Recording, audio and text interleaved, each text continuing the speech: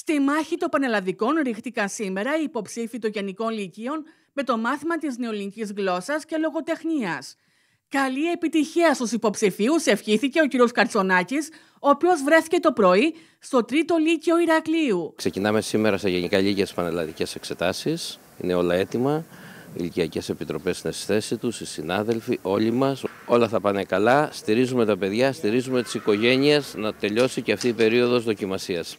Οι υποψήφοι κλήθηκαν να απαντήσουν σε θέματα για την αξία των ταξιδιών, με τα κείμενα που δόθηκαν να χαρακτηρίζονται κατανοητά και χωρίς ιδιαίτερες δυσκολίες, με τα χαμόγελα να κυριαρχούν στα πρόσωπά τους. Καλά γράψαμε, εύκολα ήταν. Περιμέναμε βασικά τελείως άλλο θέμα και μας ήρθε κάτι άλλο. Αλλά δηλαδή, πιστεύω, εγώ πίστευα αθλητισμός τέχνη, οπότε πιστεύω καλά έγραψα με το ταξίδι. Ελπίζω να πάνε όλα καλά όπως τα θέλω. Πού θες να περάσεις; Ε, ιδανικά Θεσσαλονίκη. Θέλω να πιστεύω ότι έχω γράψει πάνω από 15. Πού θες να περάσεις; Στο Αριστοτέλειο στη Θεσσαλονίκη. Δεν το περίμενε, πιστεύω, σχετικά κανείς. Περιμένουν όλη η τεχνητή νοημοσύνη ή οι ευρωεκλογές, ξέρω εγώ, ή κάτι τέτοιο. Ε, μας ζητήθηκε η άποψή μας για τα ταξίδια. Ε, θέλω να πιστεύω πως έχω γράψει καλά. Πού θες να περάσεις, Εμποροπλιάρχων. Ήταν ε, σχετικά εύκολα θέματα. Ε, δεν περίμενα το θέμα καθόλου. Ε, ήταν λίγο πρόσημο, μπορώ να πω, αλλά εντάξει, εδώ στο καλύτερο μου αυτό. Θα έλεγα ότι οι θεματικές ενότητες ήταν αναμενόμενες, είναι δουλεμένες, αφορούν και τη Β' Λυκείου και τη Γ, συγκεκριμένα αφορούν τον ελεύθερο χρόνο και τον τουρισμό.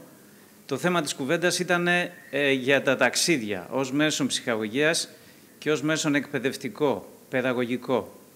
Ε, τρία κατανοητά κείμενα και το λογοτεχνικό και το ποίημα του Παλαμά.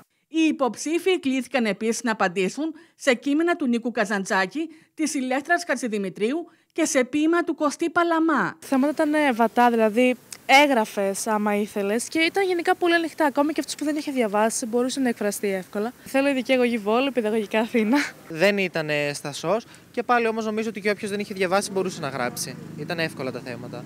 Δεν με δυσκόλεψε κάτι συγκεκριμένο. Ε, ο χρόνος μου έφτασε, ήταν αρκε... υπεραρκετός μάλλον. Εύκολα ήταν τα θέματα, δεν ήταν, περιμέναμε πιο δύσκολα. Τα θέματα τα βρήκα αρκετά εύκολα, ήταν όντως βατά. Ε, σίγουρα τα ταξίδια και ο τουρισμός δεν ήταν κάτι που περίμενε κανείς να πέσει.